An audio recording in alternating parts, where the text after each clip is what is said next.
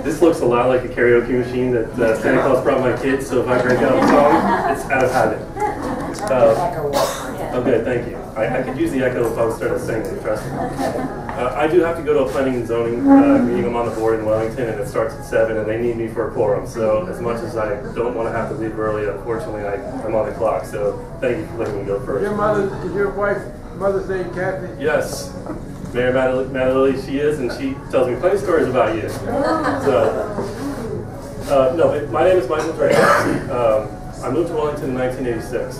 And uh, some people in the room have sat through this speech before. I'm sorry to get here again. But my story is sort of interesting in how I got to this point. Uh, I was eight years old at the time living in Connecticut, and my parents came to me and said, you have a choice. Your father's been offered a promotion. You can either move to Saudi Arabia or to this place called Wellington. Needless to say, they sort of made it feel like it was my decision, so I took the wise choice and said, let's go with Wellington.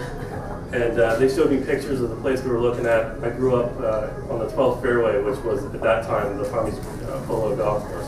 Couldn't ask for a better place to grow up. I had fantastic friends there. I uh, went all through the school system, Wellington Elementary, Wellington Landings, Wellington High School.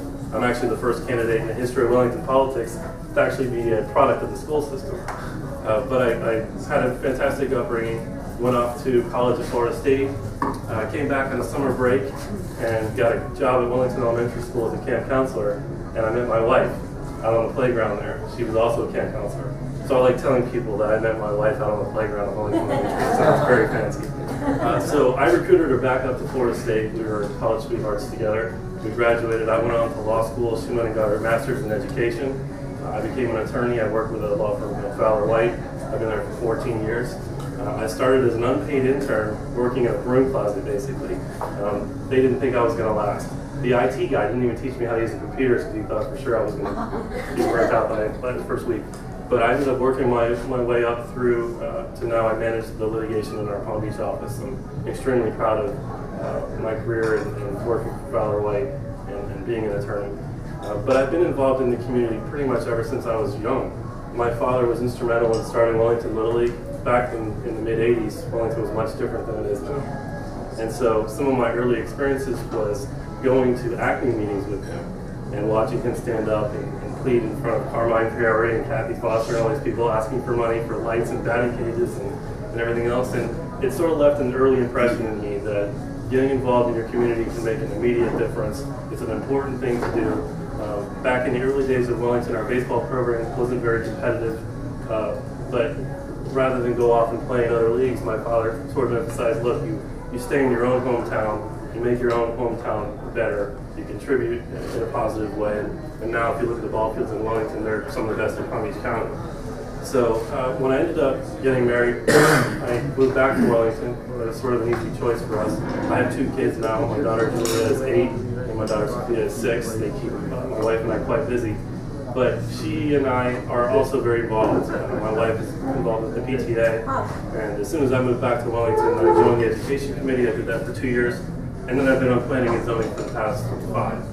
Uh, I got very interested in the local political issues in Wellington sort of saw behind the curtain and started seeing things that I didn't like. Um, after the election of 2012, there was a tremendous amount of what I thought be misinformation that was being spread around town. And most of my friends knew that I paid attention, so I'd get phone calls out of the soccer field with so-and-so saying that they're going to be building a Walmart on South Shore. And I'd say, wait, let me get out there, hold on, I'll, I'll straighten that out, that's not true. So I ended up founding the Young Professionals of Wellington. I'm not sure if, if any of you have heard of that group, but for the last three years, we've been advocating for Wellington. We are apolitical, and uh, we put sorts of social events uh, to sort of promote the town. We raise money for charity. So uh, it was sort of natural for me to go the next step and, and put my uh, hat in the ring for the village council. I made the decision to run against John Greene because I feel like John Greene and I are very different. Uh, from a policy perspective, we disagree on most issues. So I'm going to be providing the, the people of Wellington a, a choice. They'll have a, a, very different type of choice, but I feel like my direction uh, that I want to take Wellington in is the right one. I feel like it's true. I feel like from my perspective, I offer a point of view of not only somebody who's grown up in this town, but somebody who's raising kids of their own. So um, I hope that, that all of you will come out and vote, that, uh, that I've said something here today that sort of resonated with you. But if there's any questions, I'm, I'm happy to answer. All right. Thank you guys.